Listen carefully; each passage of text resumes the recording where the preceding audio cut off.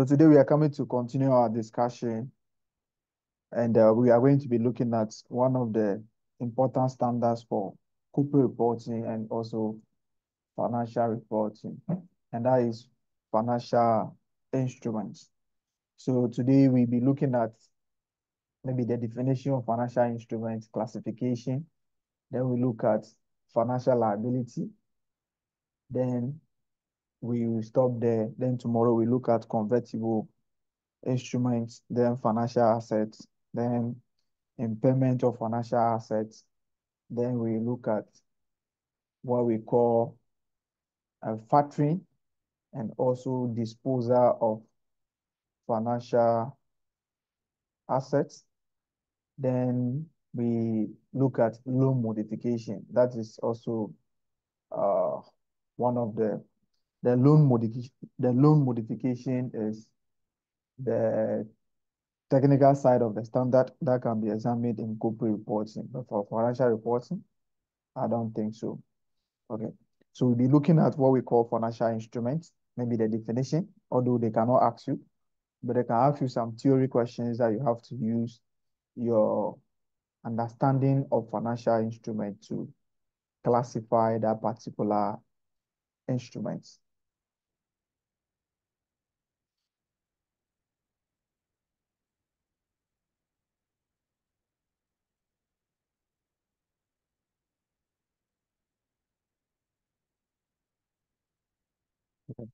So let's look at the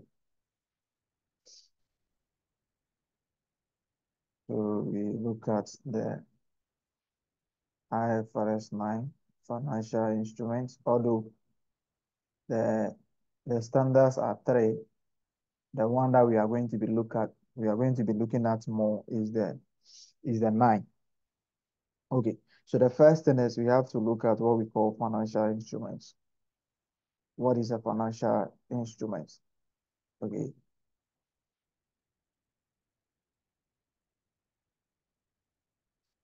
Okay. Financial instruments. Okay. What do we call a financial instrument? Okay. Someone can basically say that financial instrument is any instrument that can be traded or is any instrument that is tradable or someone can say financial instrument is a contract between two people in monetary what values. Any instrument that can be traded, traded as well. It can be on the stock exchange market. It can be in the security market, or any instrument that is giving rise to financial liability of another entity or a financial asset of uh, one entity. So any instrument that will give rise to financial liability or financial asset of uh, one entity or another entity, we say that is a financial instrument. That is what the standard is saying, that financial instruments is uh,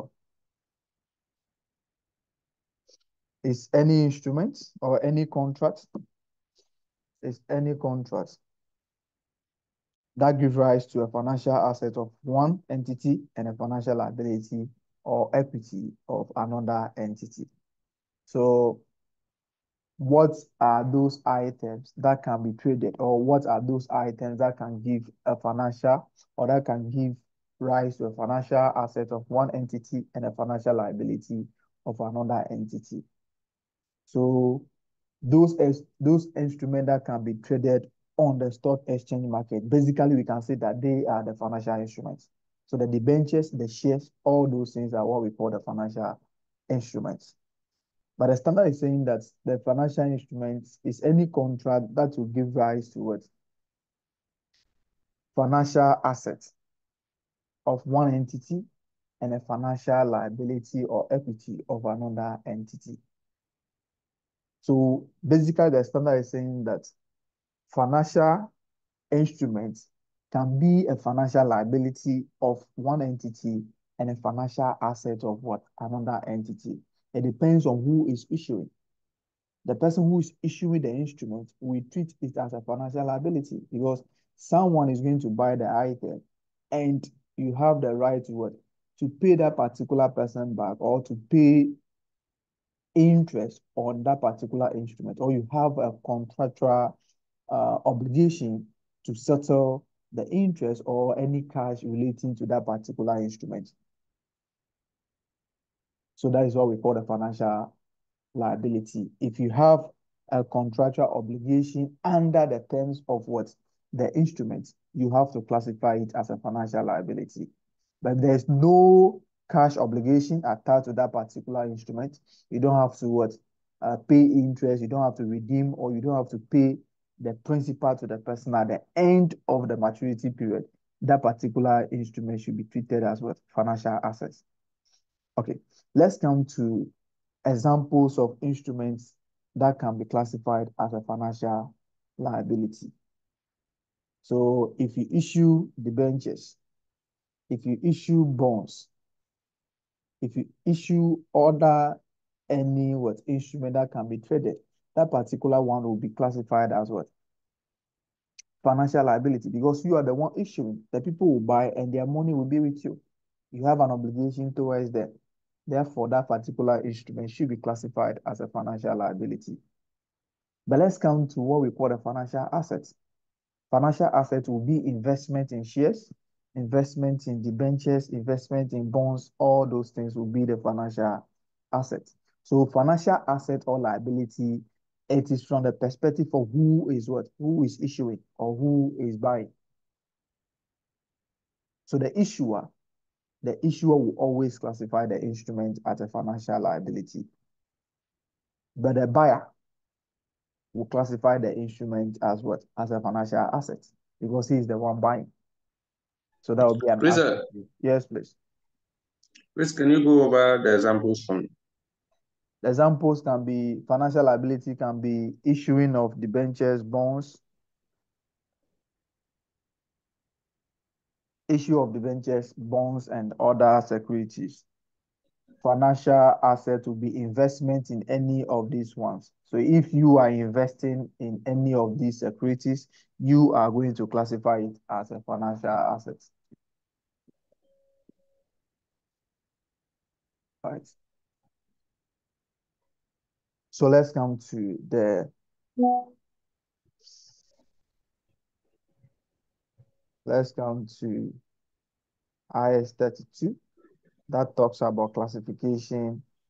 Please, the classification is very important because it is going to affect the calculation of your earnings per share, which we are going to be looking at the next topic. Okay. Which will be which we are going to be looking at as the next standard. Okay. The classification will go a long way to to affect your what your earnings per share calculation. So you have to pay uh, very much attention to the classification. All right. the standard is saying that you can classify the instrument as a financial liability or liability instrument, or you can classify it as equity instrument. Basically, what are they saying?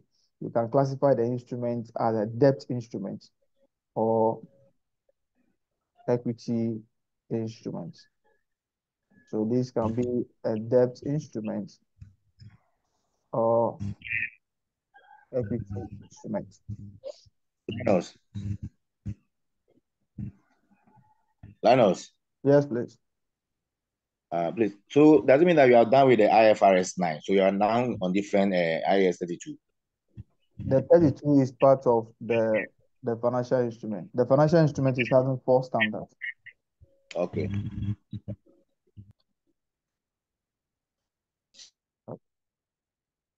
So the 32 is only about the classification. How do you classify the instrument? That is what we are coming to look at. So how do you classify the instruments? That is what we are going to be looking at. Okay.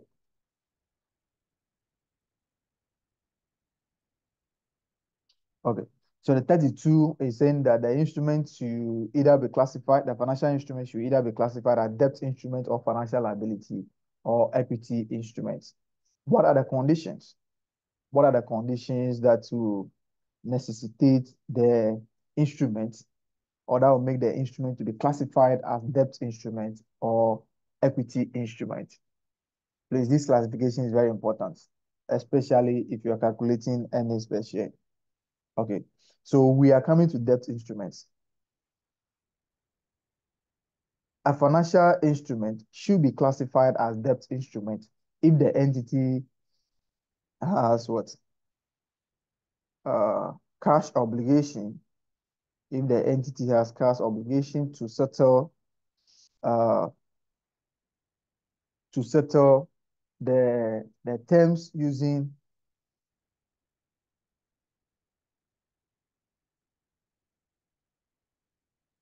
okay if the entity has an obligation to settle maybe whatever instrument by delivering cash or exchange what another instrument with that particular instrument under the terms that are not favorable to what to the entity.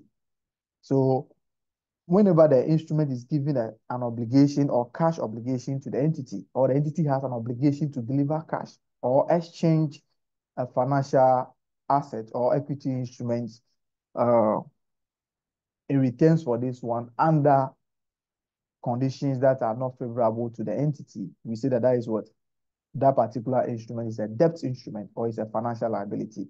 So if the entity has what a cash obligation there's an obligation that the entity must settle this particular instrument using cash or using another financial instrument under the terms that are not favorable to the entity. What do you mean by cash obligation? If you issue debentures, you have an obligation to pay interest at the end of every year. Whether profit is being made or not, you have to pay the interest. These particular debentures will be redeemable. It means that for at, a, at the end of a particular period of time, you are going to pay the money back to those people. So these are the obligations that we are talking about. You have the what? The obligation to pay interest on that particular instrument at the end of every year, regardless of whether you are making profits or not. And you are also going to be what? You are also going to be you're also going to be redeeming or paying back the principal to them at the end of a particular period. Okay, so for this one, because of this, we have issues like redeemable preference shares. Redeemable preference shares will be, will be classified as what? As debt instruments. Okay, they are going to be having, they are going to be, the company is going to be paying dividends to them and the company also will be paying back their what their capital to them at the end of a particular period. Okay, so if we are talking about debt instruments, we can say that all what redeemable instruments are debt instruments. Why? Because the entity has an obligation to pay the principal to them at a particular period of time. And that is what? That is a debt obligation that is a liability. As soon as you have an obligation to settle a certain amount of money at a particular period of time, that is a liability. So all redeemable instruments are classified as what? As liability. All redeemable instruments are classified as liability and all cumulative instruments, all cumulative instruments are also classified as what? as a debt instrument. What do you mean by cumulative? If you come to cumulative preferentials, you see you have the obligation that even if profit is not, uh, you are not able to pay the dividend for this particular year, you pay the dividend in a subsequent year together with the what? With this year's own. This cannot happen to what? Equity shareholders. Equity instruments you only declare dividends when there is what? There is profits.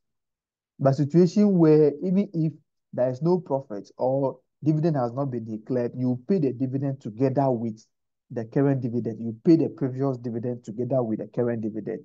That part, that particular issue is that particular instrument is having the what the characteristics of what debt instrument because equity instrument in terms of dividend payment. no if dividend is not declared for this year, or if profit is not, if you're not able to make profit, we are not declaring dividends. We cannot pay this this particular year's dividend together with any dividend that we are going to be declaring in the future? No. Or we are going to be paying in the future? No. So all redeemable instruments are treated as what? Debt instruments. All cumulative instruments are treated as what? Debt instruments. Okay. So under this particular one, the company is having cash obligation or the company is having obligation to deliver cash, then that is why we redeemable preference shares will be treated as debt instruments and cumulative preference shares will be treated as debt instruments. Debentures and all those ones, bonds, debentures, they are going to be treated as what? Debt instruments. So don't see preference shares in the question and saying that preference shares should be part of equity. No, preference shares does not give ownership and preference shares is not having the characteristics of equity. Unless the preference shares is having a characteristics of equity, that is the only time that you can treat it as equity instrument. Okay, let's come to when should an instrument be classified as equity instrument? The instrument should be classified as equity instrument if the entity has no what obligation to deliver cash. The entity has no obligation to deliver cash in the future or at a particular period of time. So we don't have any obligation to settle the instruments at, at the end of a particular period. So for this reason, irredeemable preference shares, irredeemable preference shares are treated as what? Irredeemable preference shares are treated as equity instrument. Why? Because they are going to be with the entity forever. They are going to be, these shares are going to be with the entity forever, which is having the same characteristics as what? As equity. Equity instruments, unless the entity wants to buy those, those particular shares back, they are going to be with the entity forever. So the irredeemable preference shares, they are also going to be with the entity forever. So they are having a characteristics of what? Equity instruments. So therefore, their dividends are treated in what? In statement of changes in equity. But a redeemable preference shares and cumulative one, their dividends are treated as finance costs. They are treated as what? Uh, finance costs. Someone will say finance costs, someone will say finance costs. It depends on where you are coming from.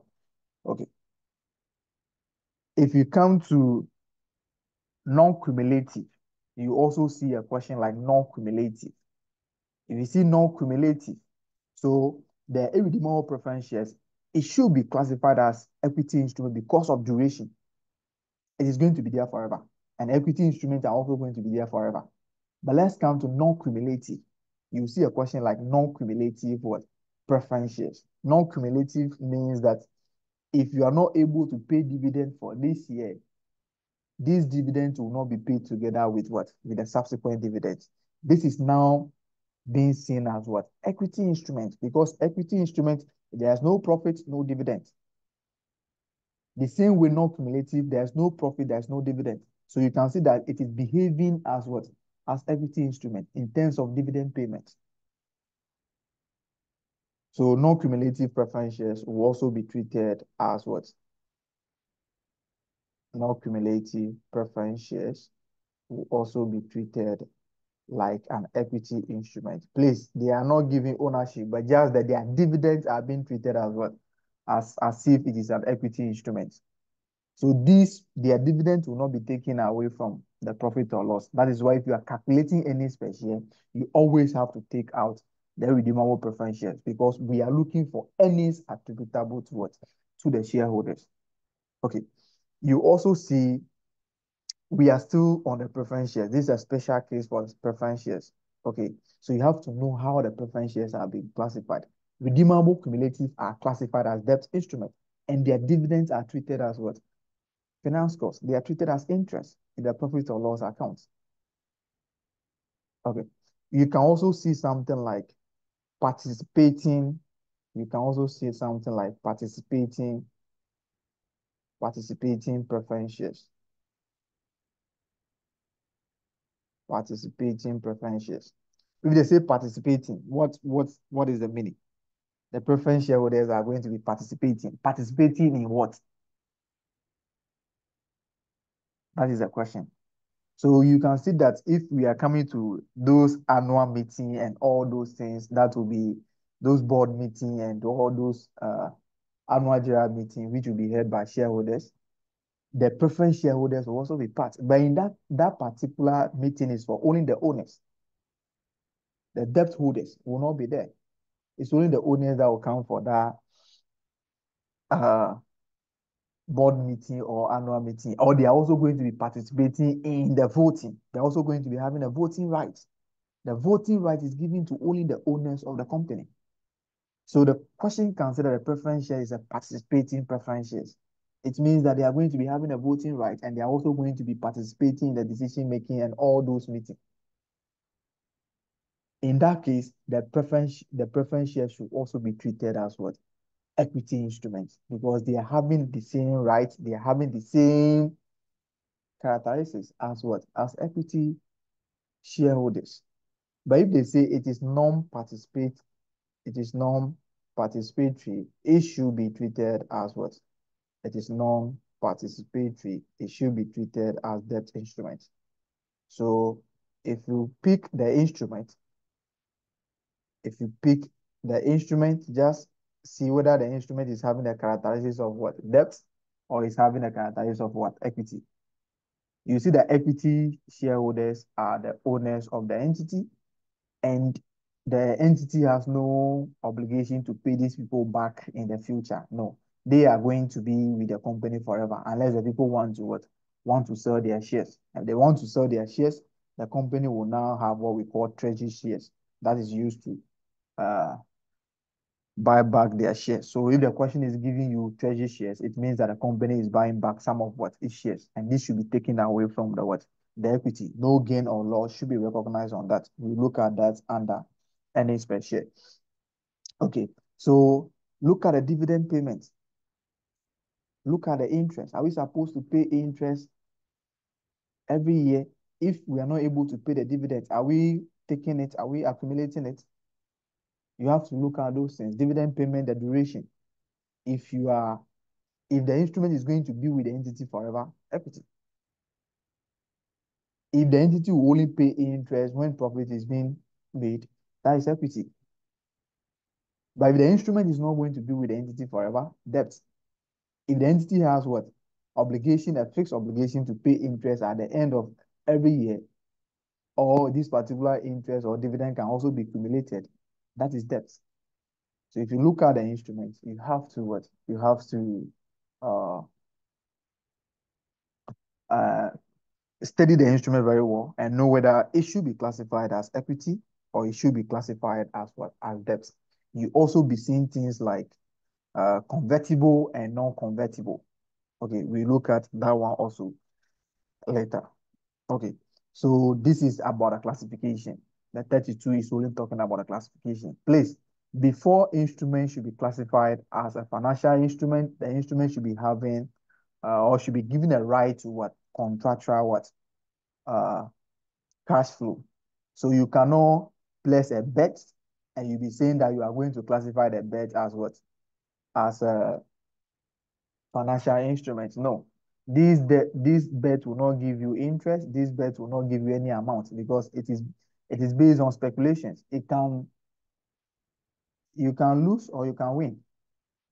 Okay, so and uh cryptocurrencies, cryptocurrencies should also not be classified as what?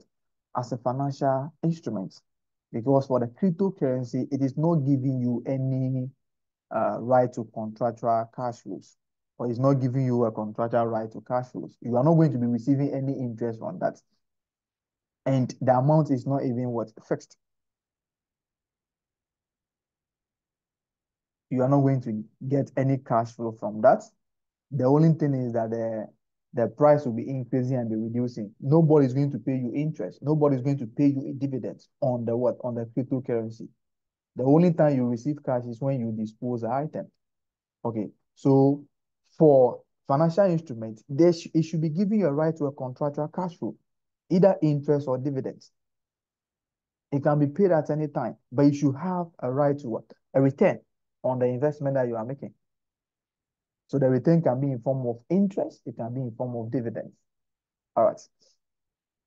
So we are coming to look at financial liability. Financial liability. Okay. So we are saying that if the entity financial liability, we are saying that if the entity has an obligation to deliver cash or exchange. Okay. Some people they will be saying that the instrument is being classified based on uh based on substance over form. Okay. It is based on who is the or who is what uh enjoying the economic benefits rather than the what who is the legitimate what owner. It's just like leases. Okay. So let's come to financial liability. What do we call financial liability? We say that when the entity uh, has an obligation to deliver cash or to exchange another financial instrument under conditions that are not favorable to the entity. Okay, let me come here. Let me come here. Let me come to the, let me come to the, this one again. The classification again. Okay, sometimes you can also see, you can also see, let's come here. You see the redeemable preference shares, the cumulative preference shares, the non-participating, the non what, uh, the convertible and non-convertible. Sometimes these these particular items can come with options. Okay, these things can come with options. They can come with options, and you ask yourself, who is calling for the redemption? The option means who is calling for the uh the redemption, or the option means that the right will be attached to the instrument, whether to con whether to whether to redeem or not to redeem. So you ask yourself, who is calling for the option? Who has the right to call for the option? If it is the buyer who is calling for the option, it means that the buyer will always call for redemption. So you are the owner of the instrument and you have the right to call for redemption. You have the right to tell the entity that they should pay the amount to you. Yes, you are always going to call for that particular option. Because if the company is not doing well, you would like to what? You want the company to pay you back. So if it is the buyer that is calling for the option, then the instrument will still be classified as debt instrument. But if it is redeemable and it is carrying an option, and it is the seller or the entity that is having the option, it means that the entity will never call for the option because they, if they call for it, they are going to pay cash. And the entity will not call for it because why? They don't want to pay cash. They can use that particular cash to do whatever they want to do. So the instrument can be redeemable, but it will be what? It will be carrying an option. Option will be attached to it. And you ask yourself, who has the right to exercise this particular option? If it is a buyer, then it is a debt instrument because the redeemable is possible. But if it is the seller who is the entity, it means that this redemption is not possible. The entity will never call for the option because if they call for it, they are going to be paying cash. And that will make the instrument irredeemable. And that will be classified as debt, as equity instrument rather. So you have to pay very much attention to that. Okay, so after identifying that the instrument is a financial liability or is a debt instrument, and therefore it should be classified as a financial liability in the books of the issuer. How do you account for this?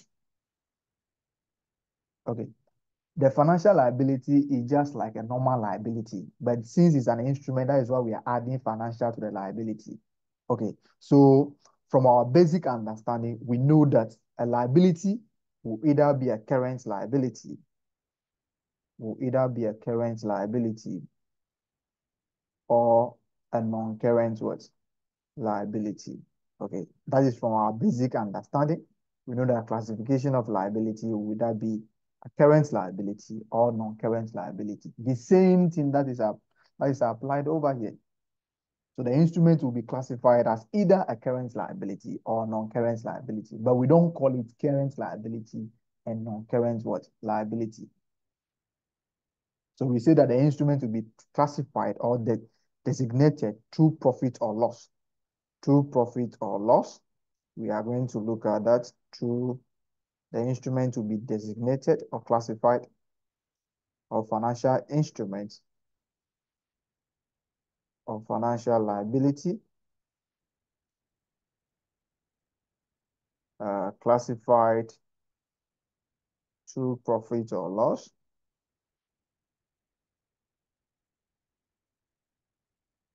to profit or loss to profit or loss, are just saying that just a short-term what? uh, instrument. It's a short-term instrument. So we assume that it will be paid or it will be repaid within a what? Within a year. That's what they are saying through profit or loss. Profit or loss, we only send what items that are what of uh revenue nature, they are of recurrent nature. Those items that their benefit will be consumed within a year. Those are the items that we send to what? Profit or loss. Items that are going to be for a year. They are just there for a year.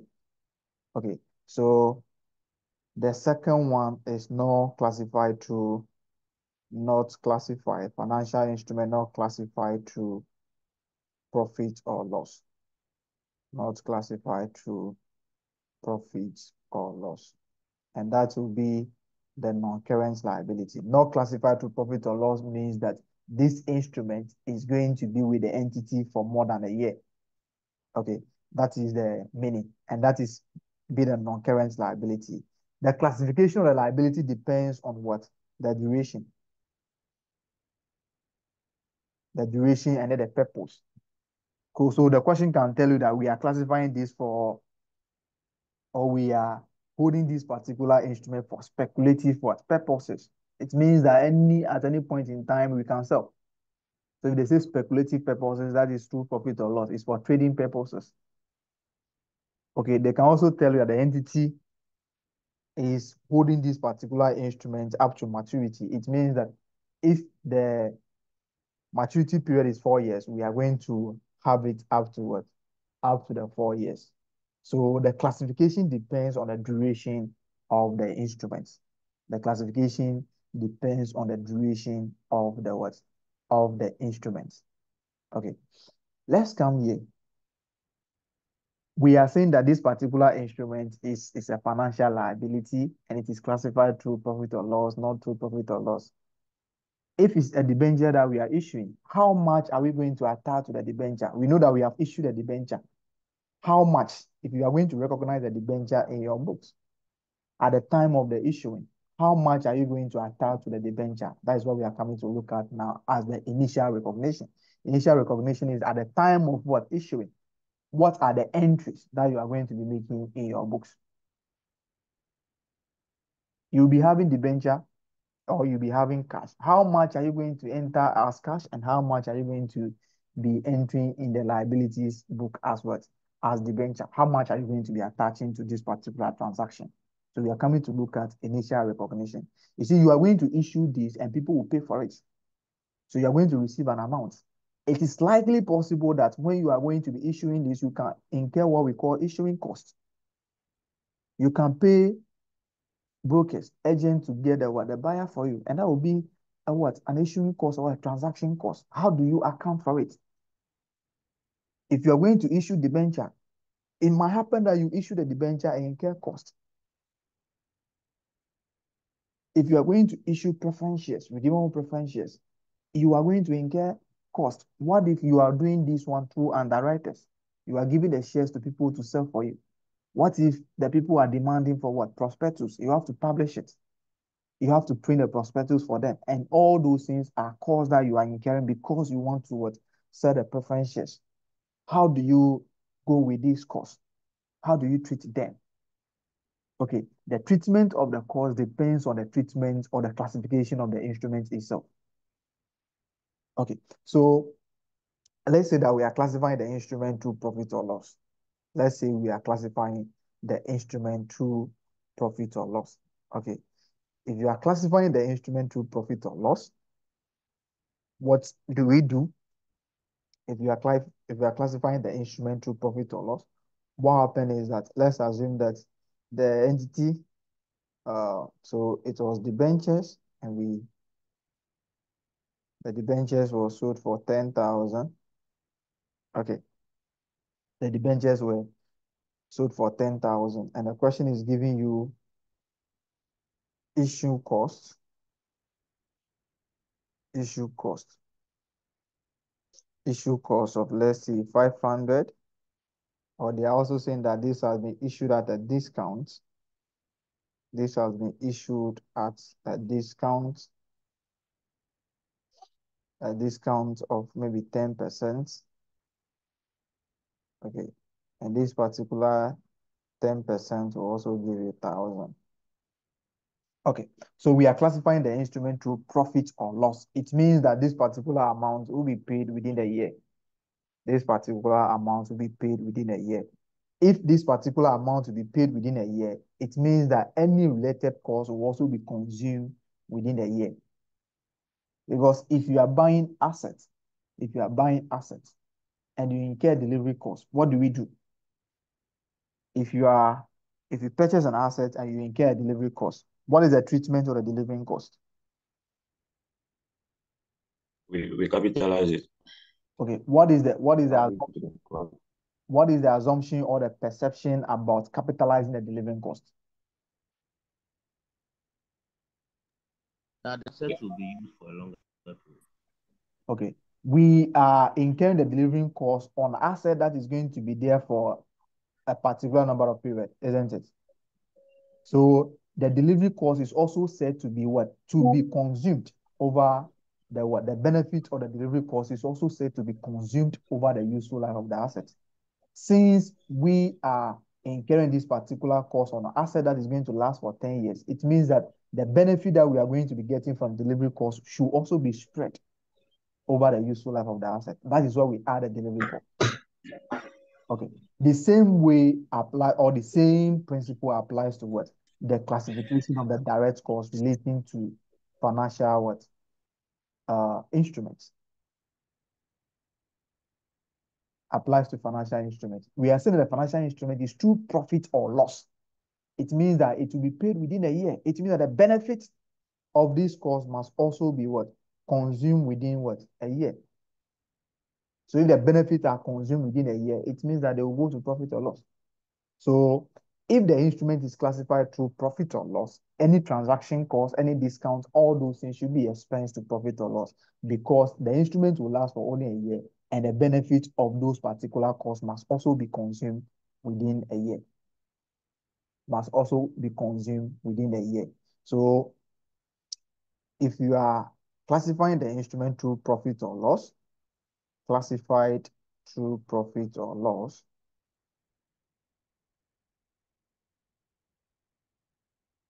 classified through profit or loss, transaction cost or issuing cost, any other cost, any other direct cost, transaction cost, uh, discount, any other direct cost should be what expensed should be expensed uh, to profit or loss. Okay, why? Because we are incurring this particular cost in respect of an item that will last for only a year. It means that we can't capitalize these items because they are for just a year. And our financial year is just a year, it's one year. So it means that the benefit has been consumed already. Unless the financial instrument. So if the financial instrument is being issued maybe six months, six months to the year, okay, that one you can have a justification that okay, the instrument, maybe the instrument will be there for a year, you can say that, okay, then let's just uh, take only what, six months. But since we don't have when this particular insert uh, financial instrument will be will be repaid, whether the instrument is being issued six months to the year or not. The instrument can be paid before the year will end. We can redeem it before the year will end. So you have to now take the transaction cost to what? Or the discount to profit or loss. It doesn't depend on the duration unless the company is saying that the instrument is going to be there uh, for a year. If it is for a year, then you, you also say, okay, you have done only six months. So the cost will be, but they will not be telling you that in the exam. They will just tell you the instrument is classified to profit or loss. So the instrument can be repaid at any time. You can issue it maybe the next day or the next month. It has been what? It has been sold to a different person. So the transaction cost or the discount will always be what? Will always be uh, expensed. Okay, let's come to the instrument not classified to profit or loss.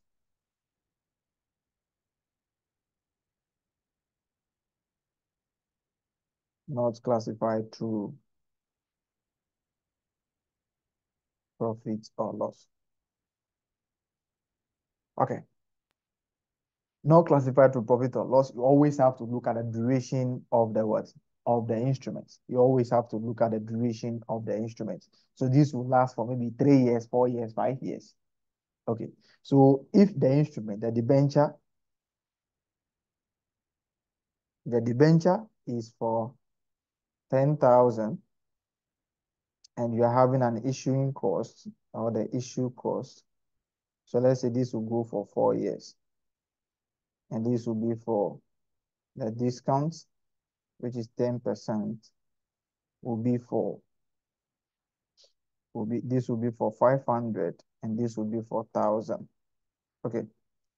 This issuing cost and discount are relating to instrument that is for four years. What is the most appropriate way of what? Accounting for the issuing cost and also the discount. It is incurred in relation to what? An item that will last for what? Four years what is the appropriate way of accounting for this particular instrument? Should we expense all the amount to profit or loss or we spread the what? The the benefit or the cost over the what? Over the the life of the instrument? What is the most appropriate way of accounting for this? We have to spread it. okay. So if you want to spread it it means that you are capitalizing what? The cost because the cost is for four years so the benefit must be spread over what over the four years okay the benefit must be must be uh spread over four years. Okay. The the accounting for this, okay. If you are having, if you are having, okay, the most appropriate way is that you are going to be having transaction costs. Okay. You are having transaction costs. So we can put the two together, the discount and this one to be 1,500. Okay. The most appropriate way is that this is an expense. So if you are capitalizing an expense, that will be an asset. If you are capitalizing, if you are capitalizing the an expense, that will be an asset. Okay. Then you have, you are going to be having a debenture itself. You are going to be having a debenture itself, and you'll be having the the 10,000. That will be a liability. Count to count to this. This should be the treatment. Okay. You are going to, if you count your cash book, this is all your cash or bank account. This is what you are going to be having. You'll be having a debenture. You'll be having a debenture of 10,000. Then you'll be having issuing cost of 500. Then you'll be having a discount of what? Of 1,000. Okay, it means that the only amount that you are receiving from this transaction is what? 8,500. Okay, but that is not a problem. Okay, the actual treatment should be this one. We have the transaction cost and we also have the debenture. Okay, but what is going to happen in the exam? Whatever be the case, the debenture, the nominal value of the debenture is 10,000 and the interest will be paid on 10,000. So the debenture is carrying an interest of 10%. It means that in the profit or loss, we are going to be having interest of 1,000. Then we also be having the transaction cost, which will be the amortization of the transaction cost, and that will be 1,500 divided by 4. Okay, what are we having? 1,500 divided by 4.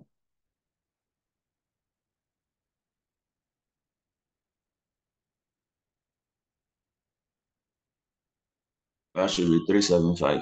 Okay, that will be 375. So this is a profit that will be recognized in the statement of financial, in, in the statement of profit or loss for the first year of the issue.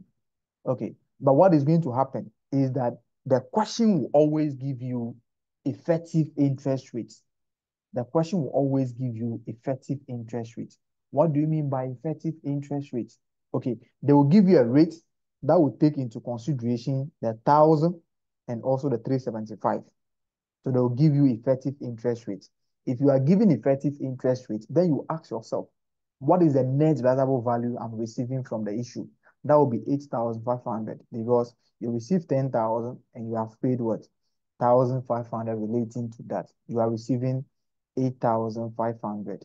If you are giving effective interest rate, it means that the effective interest rate has taken into consideration the capitalization of the transaction cost to the liability account. The effective interest rate means that you are not going to be capitalizing this. You are not going to be capitalizing this as an item on its own. But since this is relating to what? Relating to an item, it should be added to that particular one. Adding means what? You are going to be subtracting because is an asset. If you go to liability account, you'll be debiting. The liability itself will be having what? Will be having a credit account. So this is an asset now.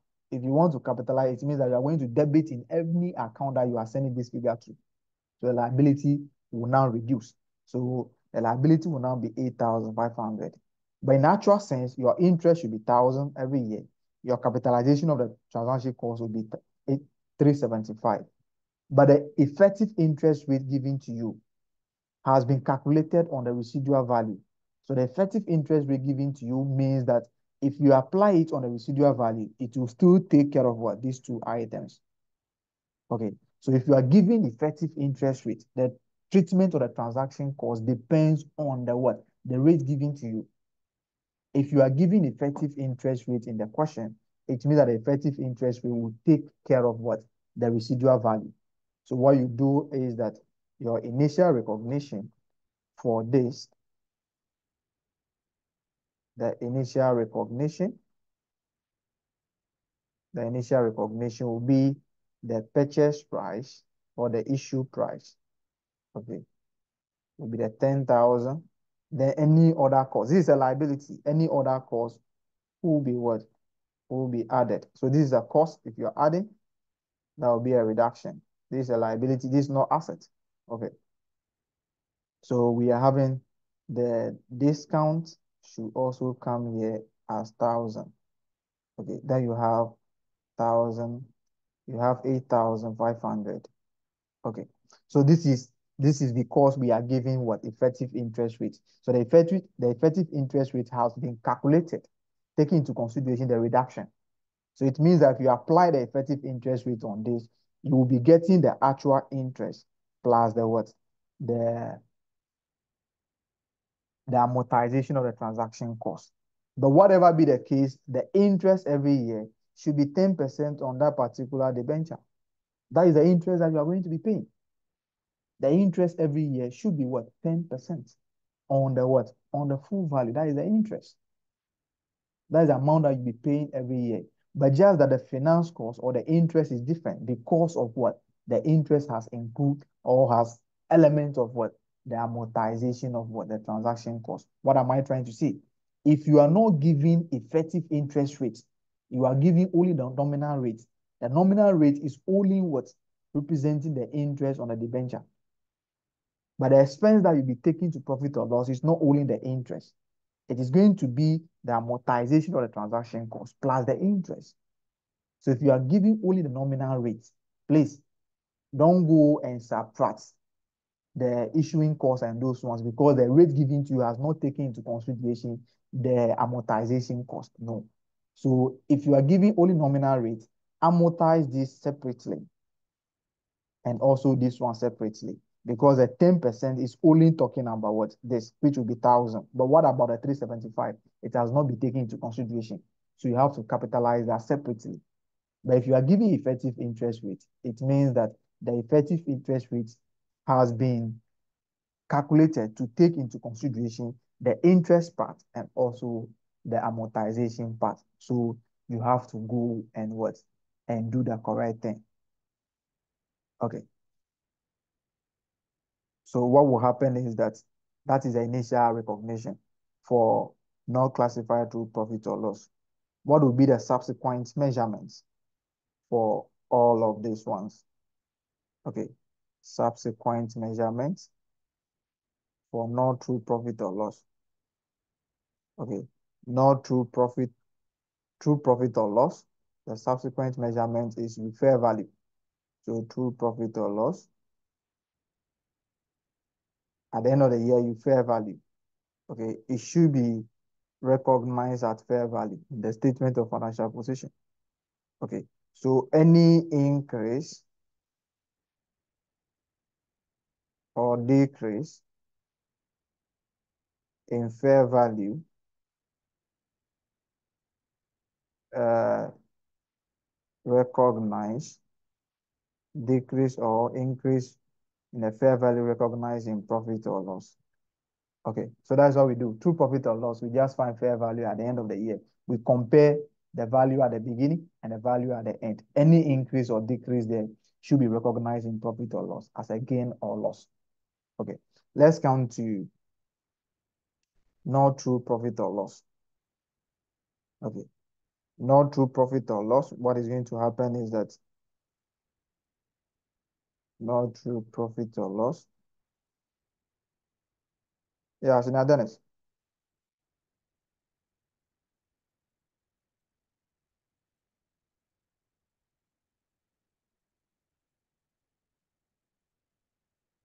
Sina Dennis, I saw your hand up.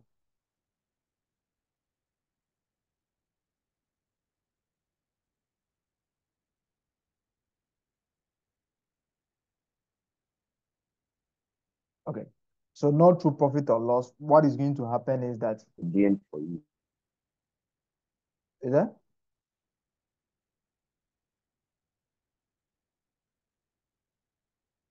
is someone saying something?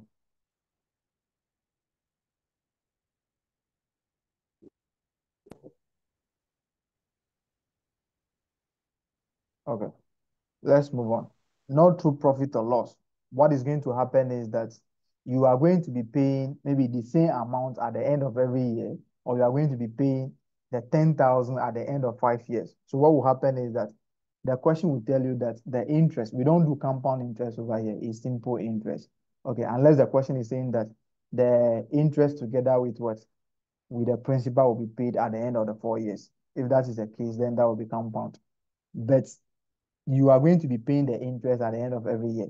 So the interest will be paid at the end of every year, or the question can say you are paying the interest at the beginning, which is not going to happen. Okay, so the interest will be paid at the end of every year. The interest will be paid at the end of every year.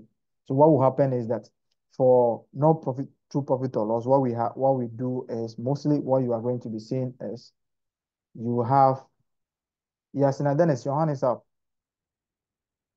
Uh, I was the, I was asking a question about my network. So I said I was asking about the once the liability carried on the. So you are saying increase or decrease is recognized in the profit and loss. I want to ask, this is a liability. Will the increase be recognized as a gain or a loss? So how are you going to recognize the increase? Okay. Increase in liability is a loss. And decrease in liability Okay, so that gain. okay. Okay, Thank yeah, thank you. okay, all right. Okay, so what you'll be seeing is that you have the the amount at the start.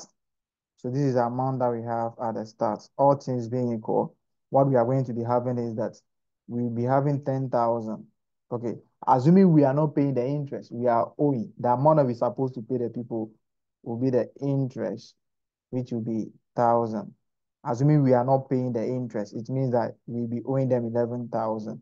But since the interest will be paid at the end of every year, since the interest will be paid at the end of every year, it means that we add the interest and still subtract the interest. So the interest is what we call the coupon payments. We are paying them the interest, and that will still be the thousand. Okay, so it's you see that it will be ten thousand. Okay, this is how we go with the in we go the with the non true profit or loss. You pay, you first the interest will be accrued. Then assuming that you are not paying the interest, you'll be paying what ten thousand plus what the thousand. That will be the amount that you'll be paying. But you have paid the interest now. It means that the ten thousand will still be there. So this is how we carry it So, the end of the year. We pay the final amount. But if you're having effective interest rates, if you're having effective interest rates, assuming the question that we have over there, then our amount over here will be 8,500. It means that it is including the what? The transaction cost. So the interest over here will be the effective interest rate. So the effective interest rate just telling you that it is including the interest itself plus a portion of the amortization of the transaction cost. That is the effective, that is the finance cost that we talk about. So the finance cost is, is not only the interest. That is not the interest that we are paying on the loan. The interest that we are paying on the loan is the nominal rate on the nominal value. But because of the transaction cost, we are putting the transaction cost together with the normal interest. And we are having what? The we are having the total amount there. So what you what you do is that assuming they have given you uh an effective interest rate of maybe uh 13%. So you calculate the 13% on this one, add it. Okay. You see, included in the finance cost, included in the finance cost, there is a what? Amortization cost there. We can't pay for an amortization cost. We are only paying for the interest. You'll be paying for only the interest. And that's why we have the coupon every year should be on the nominal value. So subsequent measurement for not through profit or loss, we say something amortized cost. And that is the amortized cost. Some people they have been they have been using table. If you if you are doing it for more than a year or two or three, you can use the table to make it very simple. But if you're using it, if you are doing it for just a year, it will be advisable if you are using the, the vertical format. So we have the fair value. We have the fair value at the start. We have the fair value at the start. Okay. Then you have your finance cost. Finance cost, which will be the interest on the normal plus the portion of the transaction cost. Okay. Then you now add, that will be an increment. Then we now subtract the interest itself. We will be paying interest. The interest will be paid, which we call the coupon. Which will be called a coupon. Okay. And that will be a reduction.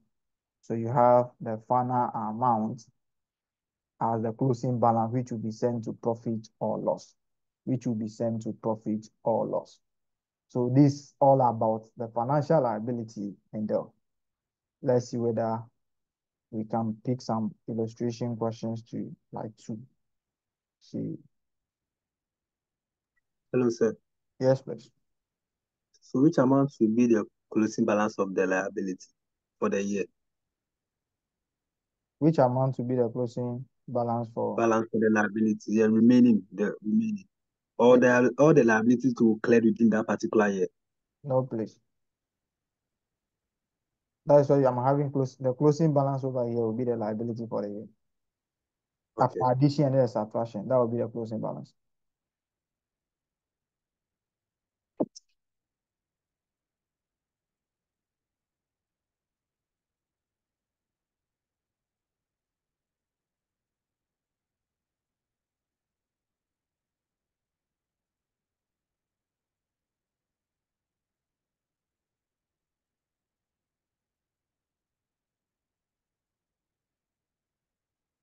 Okay, let's take let's take question one and uh,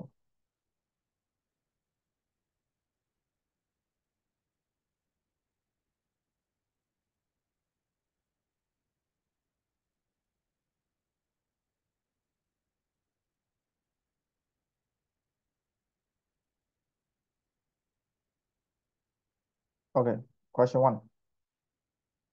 For the financial ability, I have only two, I have only three questions. Okay, someone should read that for us.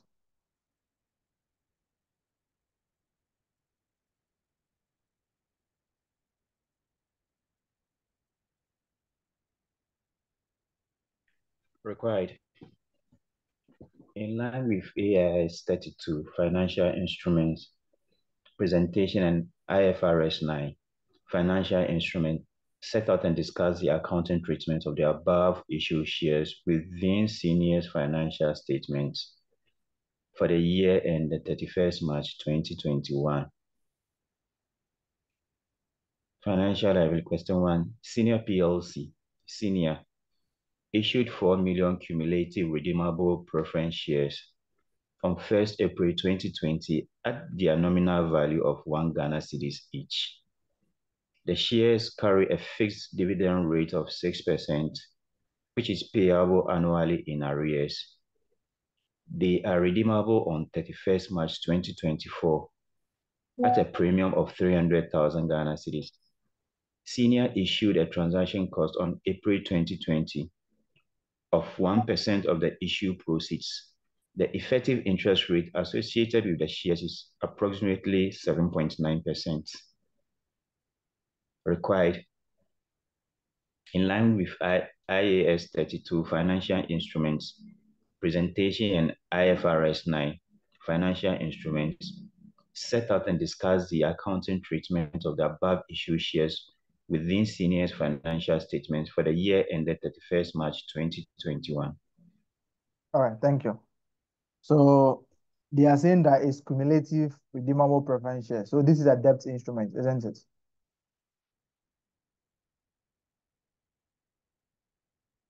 Yes. it is. Yes. Okay. Please, if you are doing this, you see, they can say they are telling you that the the this thing will be redeemed at a premium, isn't it? Okay, don't sub. The premium is at the end of at the end at the redemption date. The premium is at the redemption date, and this particular thirty thousand, which is at the redemption date over here, it has been incorporated under the what, or the the effective interest rate has has taken into consideration this particular increment. If you like, you can do it to the end of the year. You will see that the redemption amount will be the the nominal value plus the what the three hundred thousand. So if you are giving a redemption, that will be or a discount that will be at the end of the year. That has been taken into consideration before estimating the what the effective interest rate. Okay, so this one, were there any transaction costs? No. Okay, there's a transaction cost Yes. of One percent. okay. So first of all, you have to look at the what the the so let's look at question one. That will be under senior PLC. So we have to determine the initial recognition, very important. Okay, the question will always give you the effective interest rate. So if you are giving effective interest rate, you subtract the transaction cost from the what? The amount that you are receiving. So let's look at the initial recognition there. Okay. What is the purchase price?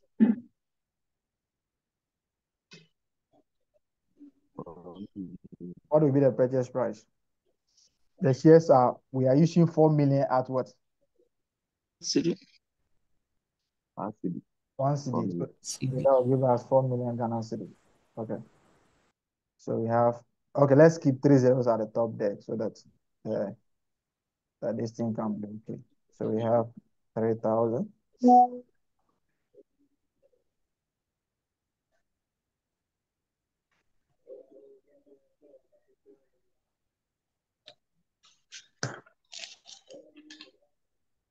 So that will be 4,000 times 1. That will give you 4,000. Okay, so let's come to the issue cost or the transaction cost. Okay, the transaction cost will be what? 0 point what? Zero one. Point zero one times four thousand.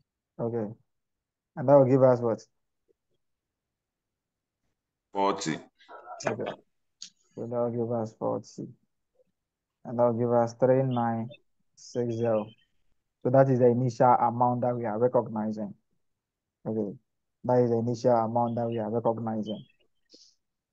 So let's come to, that is the amount at the date of the issue. That is the amount at the date of the issue. Please always take, take into consideration the date. It's very important. If you, if you don't take into consideration the date, you'll be calculating a whole year interest, while the interest should be only three months. Okay, so we are issuing this on 1st April and the reporting date is 31 March. That is a full year. Okay, we are good to go. Okay, so the subsequent measurement, which will be at the end of the year, the subsequent measurement will be amortized cost. So what do we do that? This is just a one year. Don't go and be drawing the table. You don't have time.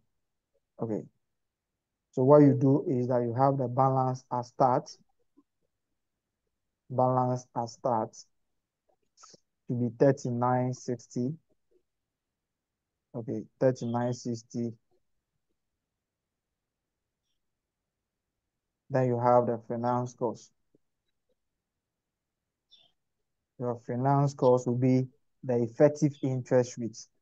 Okay, what is the effective interest rate?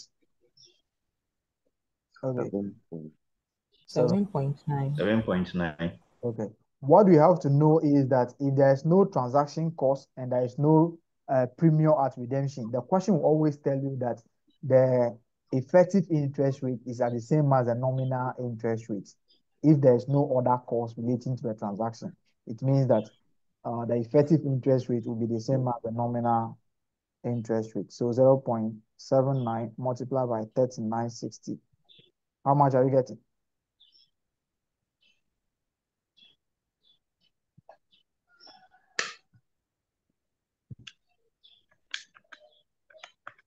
Three one two point eighty four. Okay, 312.84. Mm. Okay, 312.84. Okay, what will happen? Then we now pay the in we now pay the what? The interest to those people. Okay, we now pay the interest, which is a coupon. The interest will always be the interest, the amount that we are paying to the holders. What is the amount that we are paying to them? Six percent of the four thousand Okay, that will give us how much? Two forty. Okay, 240. So now 0.06 multiplied by 4,000, that will give us 240. Okay.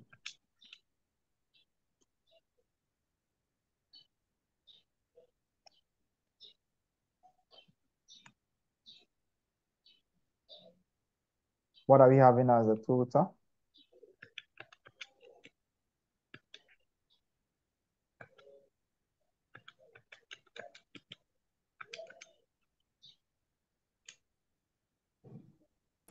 Four zero three two point eight four. 4032.84. Okay, so this is the closing balance to statement of financial position. Okay, I will show you. I will show you something. Okay, so let's come to statement of profit or loss extracts. Okay, another statement of profit or loss, you can do this. Under the statement of profit or loss, you can do this. You can have the interest. Okay. But what we are going to be showing is that you can show the finance. You can you cannot have the interest of 240. That is the actual interest that you are paying on the debenture. Okay. And you have the transaction cost or the amortization of the transaction cost to be 312.84 minus 240. What are you going to be having?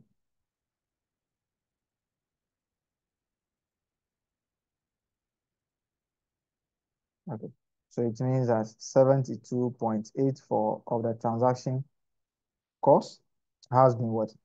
Has been capitalized. So you can you can just differentiate the two as that. But what we normally do is that we we bring the we bring the distance we normally just bring the finance cost. Okay, someone will be saying that why the transaction cost is 40, but the difference is what? Uh, 72. The 72 is taking into consideration the premium. So the 72 over there is taking into consideration the premium that you'll be paying. The premium that you will be paying is also, an expense. So we are trying to what? Uh, spread the premium also. So that the 72 over there is also including the premium, which is what? 300 that you are going to be paying at the date of redemption. But what we normally do is that we just show the finance cost. Okay, we just show the finance cost of what? 312.84. Okay, but you can you can you can separate it. You bring the actual interest or the dividend. That would be a dividend, but it is interest because it's debt. So that will you bring the actual interest, then you bring the amortization or the premium part of it. Okay. So let's come to statement of financial position. We have a non-current liability depending on how long the instrument is going to take. Okay. Then we have non-current liability. Then we have a financial, or you can just see preference, maybe uh six percent, six percent cumulative preference shares. And that will be 40 point 40 32.84. That is. But it's nothing big about the the financial liability. Let's speak a situation where uh, I've spoken about only if the shares are being issued at a at a discount. I didn't talk about premium. So let's pick a question where the shares can be issued at a premium. What do you do? Okay, I will I will talk about yes, now Dennis. Uh, the calculation, the interest and the you said uh, uh, you're going to take into consideration the month, the month, the number of months. Yes. But I think No, that this thing is a full year. It's April to March. okay. Yeah, it's a full year. So I will just drawing our attention to the the the year. The the instrument can be issued uh half year to the year end. So you have to take into consideration the year. But this is a full year one, April to March. Let's look at question question three.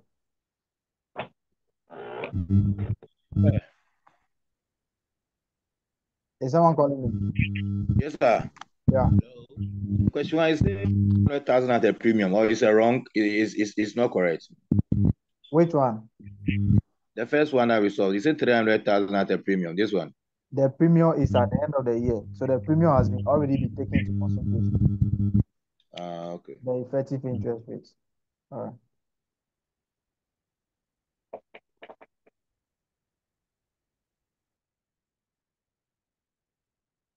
All right. Question three, senior.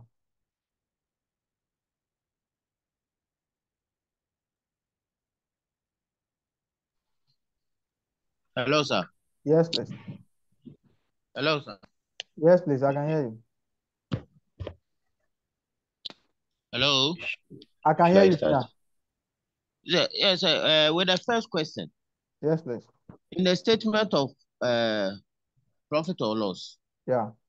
why didn't we include the interest? The interest Inter- already, the interest that we paid, the interest we paid, the six percent. the interest is already part of this one. It's already part of the three one two. It's already part of the finance cost. Yes, please. It is together with Okay. the transaction cost and also the premium that will be paid at the end of the redemption. So that is why the first one I said that you can separate it. You can bring the interest separately and you can also bring the so the interest which is 240 over here is part of this one already. So you can decide to separate it. You are good to go. All right. Please, uh, Yes, please. please, can you get to the initial recognition for me to see something?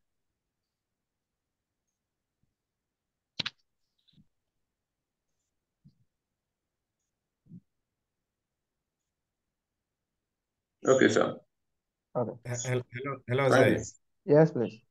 Uh, please, uh, I had a network issue. How, how did you manage to get the 4,000? Because 4,000 is not certain the question. If you can explain that one to me, please. We are doing the shares are issued at at one cedi and they have issuing four million. So we are keeping three zeros. It should have been four million. We are keeping three zeros at the top. So that is why we have four thousand. Okay, thank you.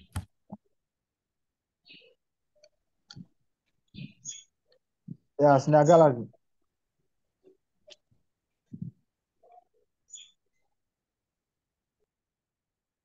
Senior take the last question for us so that that's, yeah. In line with IFRS 9 financial instruments, explain how the above will be accounted for in the financial statements of TIG for the year ended 31st December 2017. On 1st January 2017, Tamale Investors Group TIG issued 10% 200 million Ghana cedis bonds on the domestic debt market. The bonds were sold at a premium of 20% of their nominal value. Transaction costs of 10 million Ghana cedis were incurred. The coupon is payable annually in arrears. The bond must be redeemed on 1st January 2020 after three years at a discount of 1.33 million cedis approximately. The effective rate of interest is 5% per annum. Okay, just, just stop On there. The, the, Okay. the second one is, is, is financial assets. So we are, we are, we haven't done financial assets yet. So my focus is just the financial liability side. Okay. So let's only look at the financial liability side. Okay. They are saying that the, the bonds are issued at what? 200 million on domestic market. The bonds were sold at a premium of 20% of their nominal value. Transaction cost, transaction cost 10 million were incurred. The coupon is payable annually in arrears. The bond must be redeemed on first,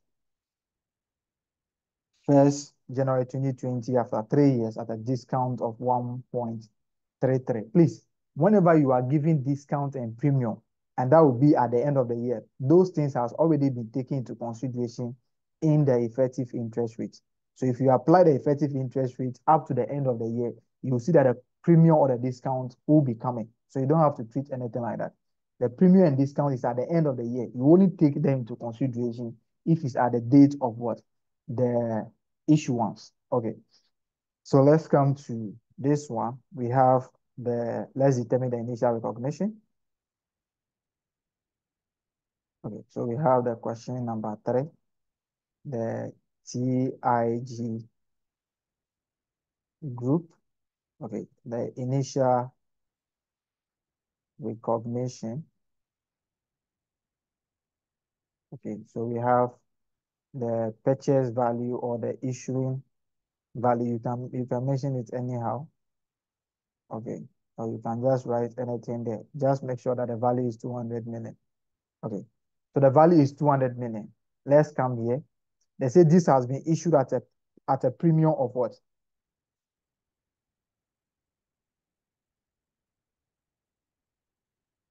This has been issued at a premium. This has been sold at a premium of 20% of their nominal value.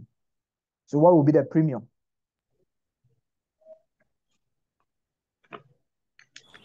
Forty.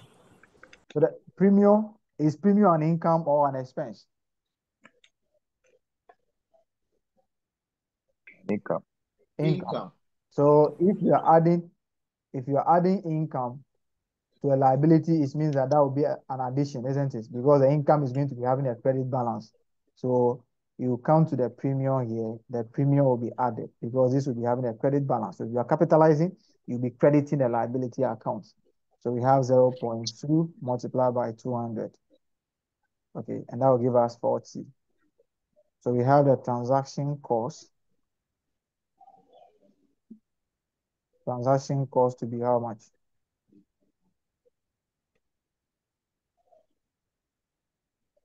Transaction cost. Ten. Okay. Is 10. The transaction cost of 10. What will, Mm, what will be the final? 230. Okay, that will be 230 million. So let's go to the, the subsequent measurements.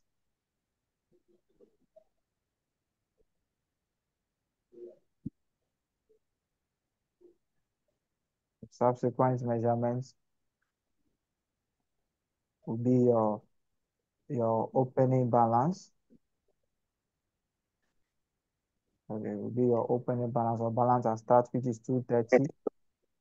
Then you bring the finance cost. The finance cost will be the effective interest rate. What is the effective interest rate there? Five percent. Okay.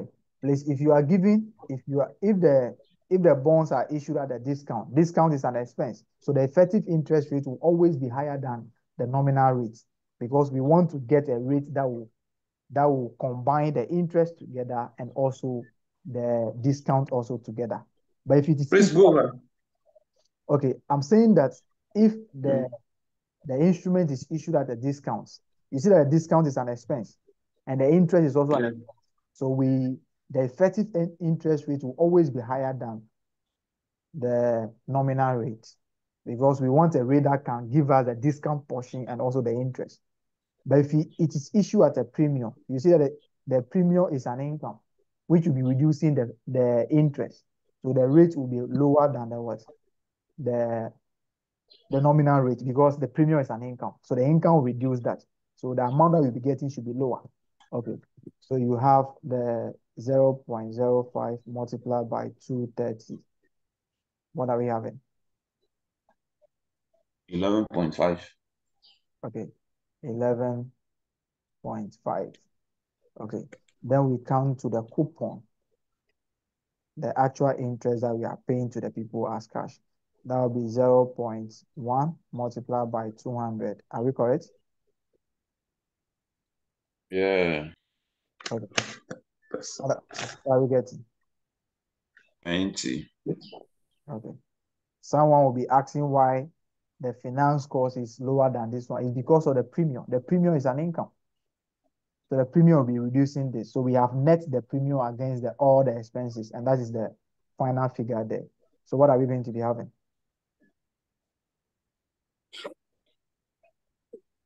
Two two one point five.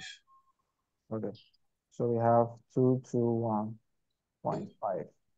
And that will be the closing balance to be taken to statement of financial position. So one from the coupon rate. the coupon rate is attached to the question there. The the rate attached to the instrument is always the what? The nominal interest rate. That is the interest that you'll be paying. And that is the 10% mm-hmm. 200 there.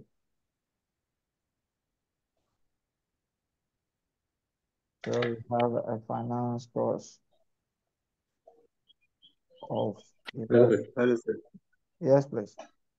So, with the premium that they said, as the pot, meaning we receive an additional 40 million from the people we issued out the, the bonds to. Exactly. You are selling. So if, if it is a premium, it means that the people are paying more than what they should. That is a premium. So that is an income to you. So, as in, so it's been an income. Does that mean that we have to pay the, like we'll have to pay something on it as an, as a liability on the premium? We are not going to pay them anything at the end of the the maturity period. But what they are saying is that maybe the bonds is now the bonds the bonds is now maybe the bonds is having uh, a higher interest rate or something, but we are just trying to sell the bond at a higher price than we should. So the actual price of the bond is 200, but we are asking them to pay 240. It means that we are receiving an income of what? Of 40 on it. Okay. But since we are giving effective interest rate, it means that the bond must, uh, the premium must also be capitalized. But if you are not giving effective interest rate, you just spread the premium over the what? Over the maturity period. So they are going to be paying you the 40 in excess. You are not going to pay anything on it. The only thing that you can you can incur is the transaction cost, which has been given to us. Okay. I don't know whether I've I've, I've answered your Yeah, Sir, thank you. sir, if you can repeat that again. If you are gi- you have been given a nominal rate. if you are giving a nominal rate, the nominal rate, okay, assuming you are Hello? assuming you are not giving, Hello? can I talk? Hello? Yes, you can talk. I can hear you, Yeah, yeah. I, I, w- I was saying if you can repeat that again. If you have been given a nominal rate and there is a premium and a transaction cost. I Okay. bet you said the transaction cost will be amortized if you have given a nominal rate. The same thing Or the applies to the premium, premium. The same thing applies to the premium. The discount. Okay. Yeah. The premium is for is for three years. So you also you also uh recognize it over the Three years. Okay, thank you.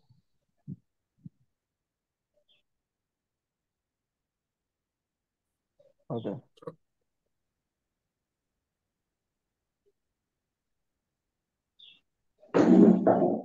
Okay, so let's come to statement of financial position.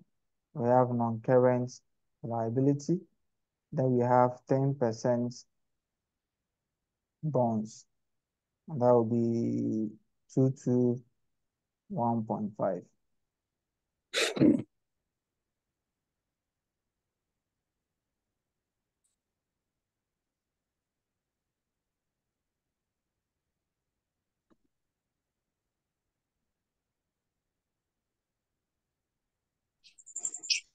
All right. Senior, Yes, please. so please, could, if you could send it back to the initial recognition, I, I lost contact small, so I couldn't.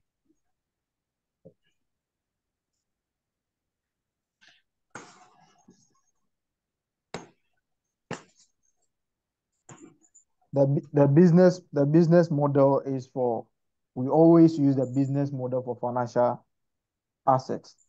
Okay.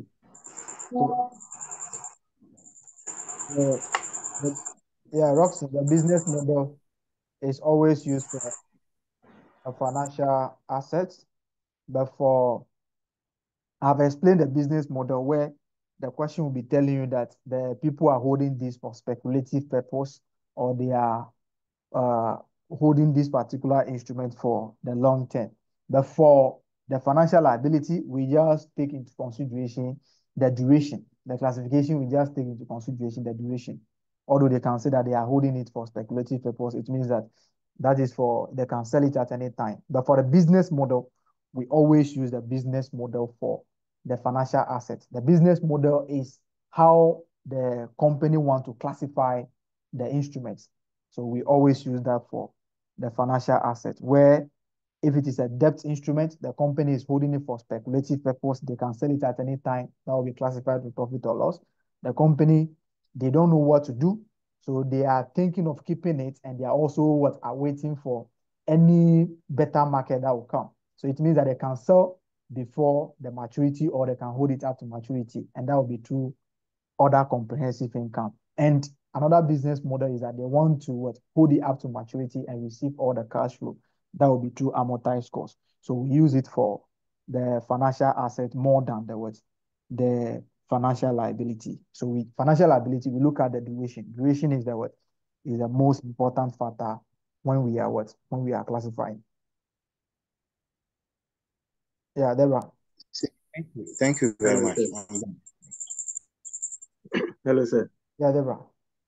So I, I- I've realized that you see the uh, the coupon rate is higher than the uh, uh, uh, effective interest. rate. Is it because of the premium aspect or Yes, it's because of the premium. The premium is an income, so it, it is always going to reduce the what the amount that you are paying.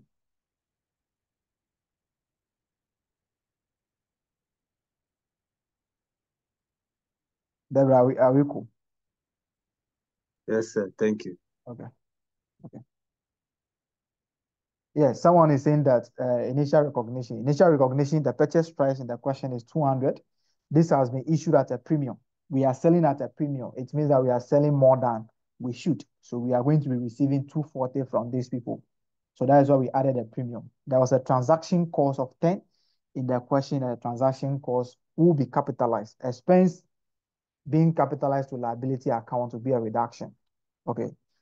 So then we come to the subsequent measurement. We now have our opening balance. We apply the effective interest rate on it. Then the coupon, which is the normal interest that we are paying. The actual interest that we are paying on the bond is 10% on the nominal value. Okay, if you go to the bank and you take a loan, the interest will be paid on the amount that you have taken.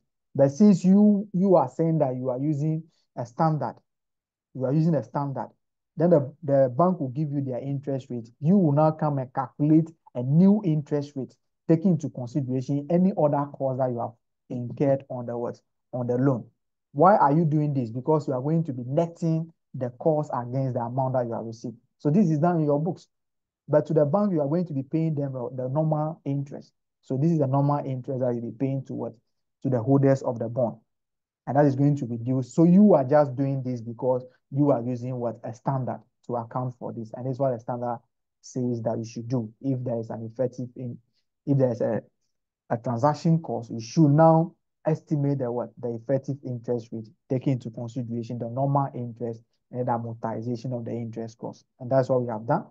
And our interest cost for the finance is 11.5, and our closing balance is what 221.5 in the statement of financial position as a liability.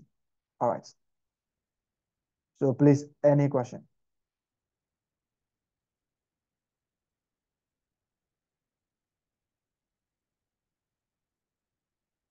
Any question? Okay. I should just take, No question. yeah, I should just take the silence to mean that we don't have any question. If there are no questions, please, I will see you guys tomorrow. Good morning. Good morning, senior. Thank you very much. Thank you. Good morning. Bless you, sir.